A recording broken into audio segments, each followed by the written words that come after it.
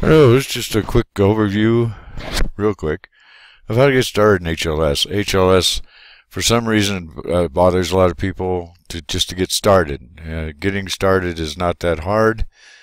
Uh, it's just, you know, if you've never done it before,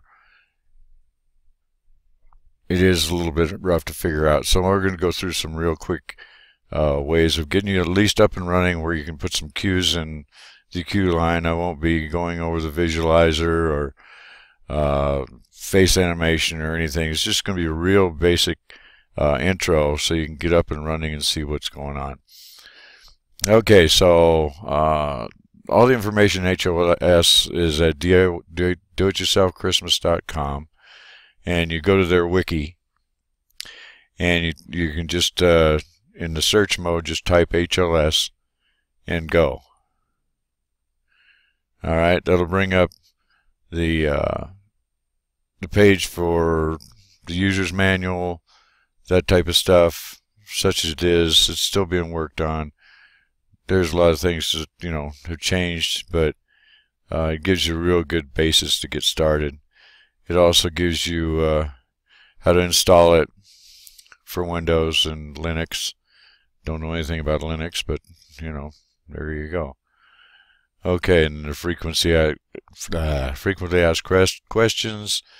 Um, you know, you can go to the downloads, and it'll take you, or you can make a PDF manual, print it out, uh, or you can go to HLS forums on uh, DIYC, Do It Yourself Christmas. So if you just click downloads, it'll take you to where all the downloads for HLS is and you know it'll it'll also give you some more information as you know what to do and how to do it and all this other good stuff. Uh, logos, getting started. Um, let's see. We, we go down to. You can usually find the latest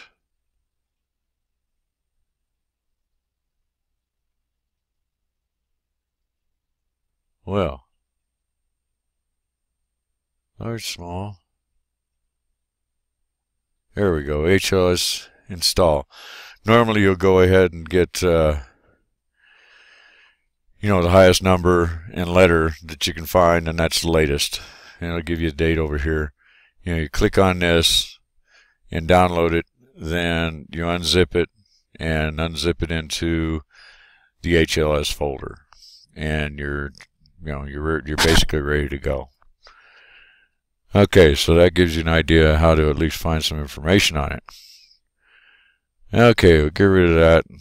Now I've gone, uh, I've already got my Windows Explorer open, and it's in, uh, it's in my G, uh, G drive under HLS sequences. I made a special, I made a separate folder for that. You'll find right in here, right here is where the uh, where the program is, and all these up here are all the, all the programs or all the sequences that I have for different different songs that I've already done. Okay, so what you want to do is is uh, right click on this and run as administrator. If you don't run as administrator, it'll do some strange things. And it'll ask you if you want to download a new, new version, if uh, it'll check if there's a new version out there. If there is, you need to download it or not. Uh, right now, I'm not going to download the new one. Alright, so we start out with a nice blank screen here. And we're going to uh, create a file. And it'll just be start uh, start new sequencing sequence and I'll walk you through it through the steps. Okay do I have a wave file? Uh, I would suggest doing all of your files in wave not an MP3 because not all MP3s are created equal. Okay so some MP3s just won't work and it's the same with LR or you'll get some funky little things happening along the way. So I just always I always just convert everything to uh, MP3. Audacity there's uh, there's a few you know free converters that you can get out there. Okay, so I do have a do have a song, and uh, and basically I'll create a folder, and it'll, so it'll create a folder to put this sequence in. It'll keep all your sequences separate for you. So what we need to do is just uh, name the folder, and I'll just name this uh, test one and we'll hit OK. And now you're ready to identify your song and uh, click yes to load song, click no to not load song. You can make an animation too, but I have never done that, so I can't tell you really what goes on with that. So anyway, we'll select a WAV file. Mine's in music. And we'll go down here, something I know is a wave. Uh, Uh, Firefly's Russian. Well, uh, you can either double click on this or just uh, click on it and then open. It'll take a little bit for it to come back. If you have a slow computer, this will take a while. Don't be concerned. It will come back. All right, just say I'm done, return. You see your WAV files up here. You know, if you play it, I don't know if you could hear that or not, but anyway, it would it'll play the file right here. So you're up, you're kind of up and running already. Okay, we got to get some channels to sequence in here. So the first thing we'll do is go to Manage Channels, Manage Raw Channels, and we're going to add. Let's just add 20 channels, and we click Add and it was wants to name the channels. So what it'll do, I'm going to add 20 channels and uh, I'm going to name it Roofline.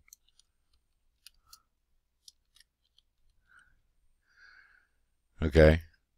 So now if you see you got Roofline 0001 through 20. 1 through 20. Okay. Now these are going to be RGB channels. So what I do is I click on the first one.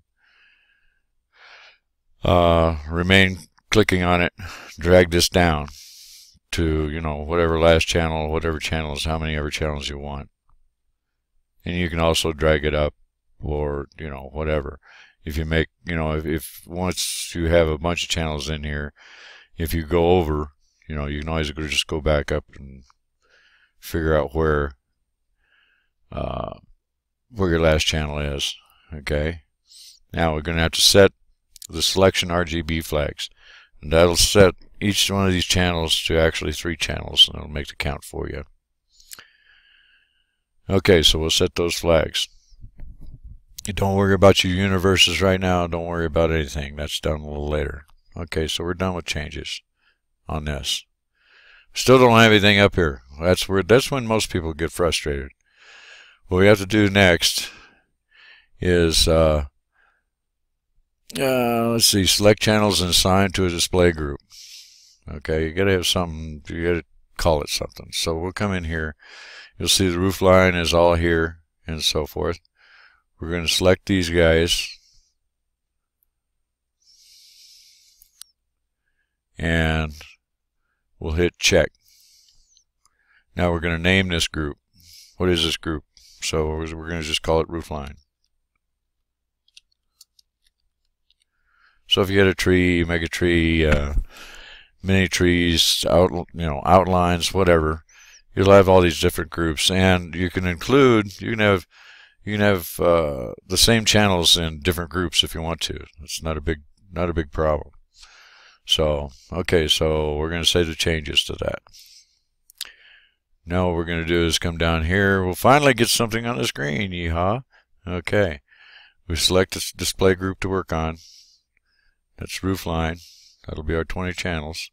And guess what? There we go. Now always comes up in this resolution. Um, time res re resolution, I always leave it 50 milliseconds right now because that's what uh, that's what xLights usually had. Uh, but they're changing with xLights 4. They're going to, you could be able to do 25 milliseconds, which will give you a little more flexibility as far as getting things exactly on beat. Okay, so I always switch to, you know, the fine grid. Well, now we'll see. You got roof line all the way here. So basically now you're up and running, you're ready to play. Uh, you, you won't have any visualizer and you won't have, won't be able to output a display. I'll cover that, or it's been covered already, but hopefully I'll make another video. Quick video how to show that. Nothing's quick, so. Alright, so let's just say we want to do, uh, we want to do at one second, you, uh, now I get my left and right confused a lot, so you'll have to bear with me on that. Okay, so you left click right here on your first, and you want all 20 channels to be included. So you left click, all you, you just click on it, you don't hold it down. Alright, so now you just drag this, you know, however you want. I'm not holding it down, I'm not doing anything. It'll, it'll do this all by itself and it'll continue doing that until you get the spot that you want to do. So we'll make this a half a, a half a second little little uh, effect. You, you uh, left click on it again. Now it's selected. This won't go anywhere. Whatever. Now if we just wanted just this to be red, we could do it. Green, we could do it. Blue, we could do it. We can also change these colors by the color box right here. Click on it, you go down here and, well, we'll just go to the color palette and we could click that right there and it would be fine. Click OK and OK. Now this, this, whatever you click in here, level, ramp up, ramp down, or custom, which is another thing we'll, we'll cover and it has been covered before. Uh, but this, there again, it's just the basics. So what I'm going to do right here is I'm going to uh, ramp this up in purple. Okay, that gives us a ramp up. Now, if we want to make a quick chase, oh, okay. Uh, if you just left click on the front of the panel, this will move anywhere you want it to move. It won't up and move up and down, but it'll move horizontally anywhere you want.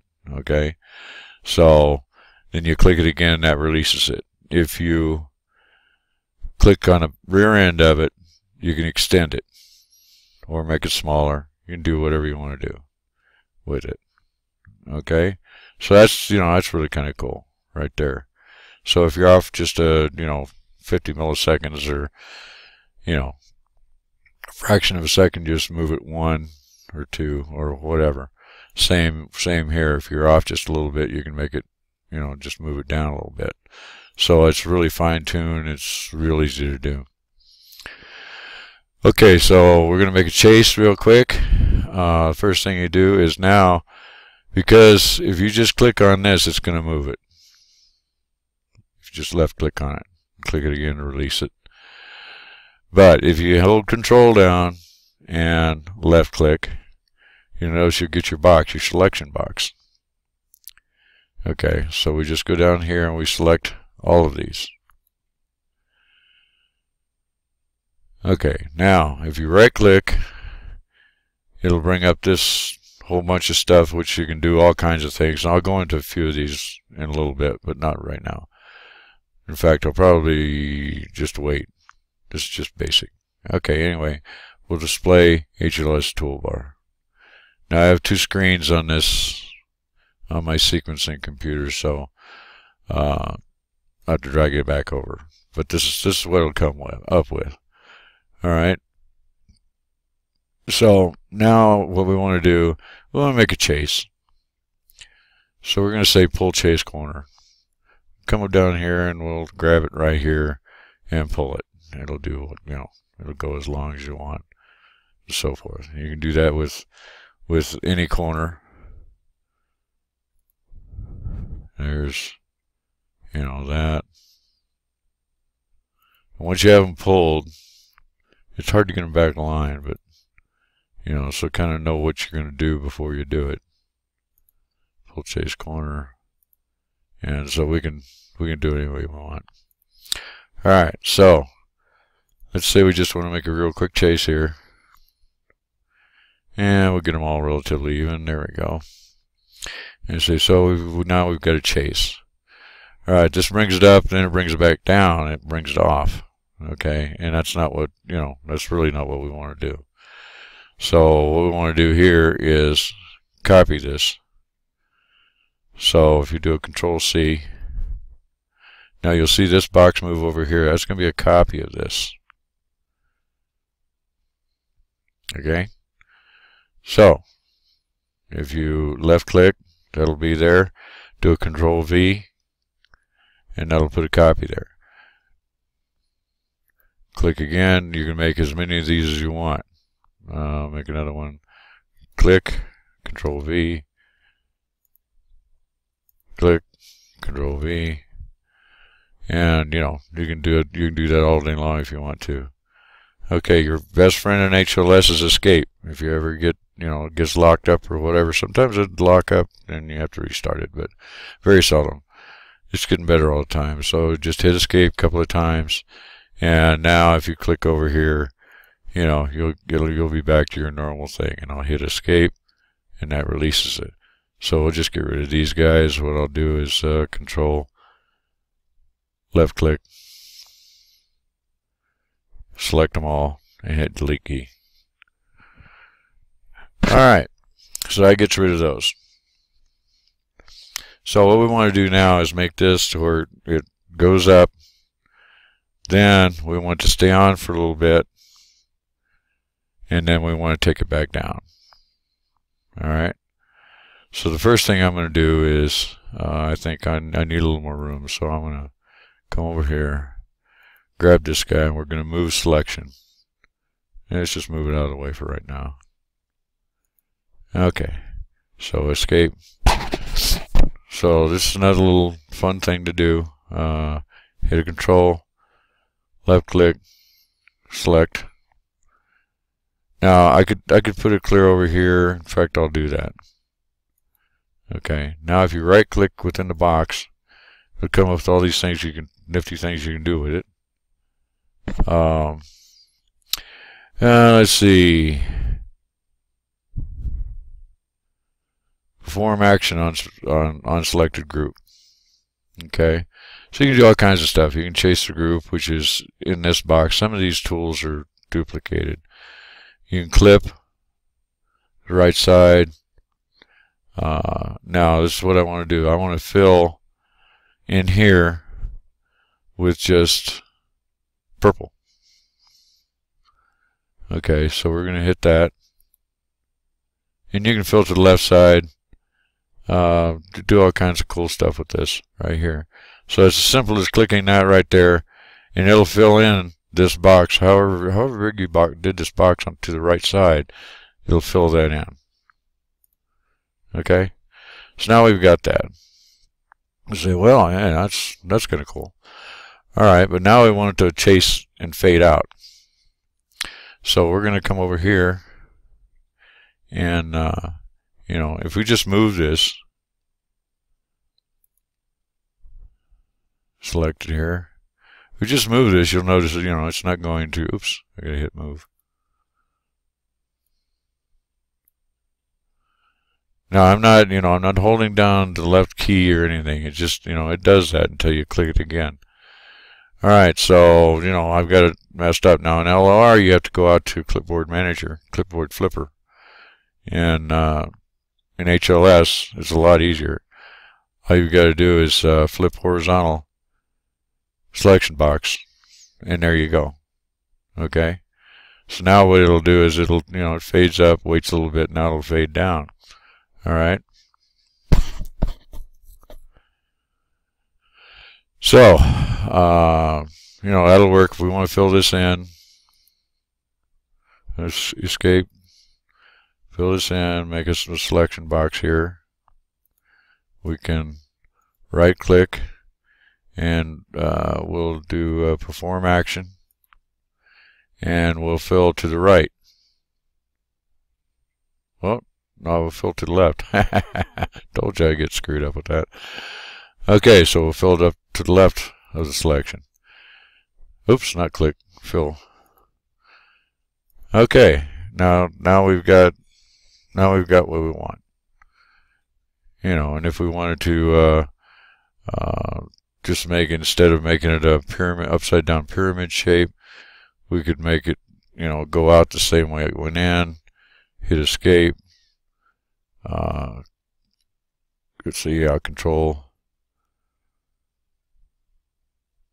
control left click okay and now we'll right click on this and what we'll do now is uh, we'll uh, flip vertical so now it'll be this will go on and this will just go out the same way this came on. So that's kind of a, you know, kind of a cool thing to do. Um, so anyway, you know, you're up and running. Uh, do some small, you know, tests and then read some and so forth. Learn how to, you can, with HLS, you can't quite uh, output the lights immediately like LR you know, you'll have to have this, this box checked. Always engage my grid. And you'll have to set up your outputs to go out to your lights. But once that's set up, it's set up for all your sequences. So it's not really all that bad, and that'll be covered in another video, or other people have covered that. Anyway, at least get something on the screen for you you can play with. So, you know, have fun with it. Take care.